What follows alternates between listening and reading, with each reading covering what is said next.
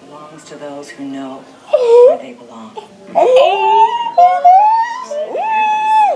Decide the rest of our lives. Can't control you. They 내 call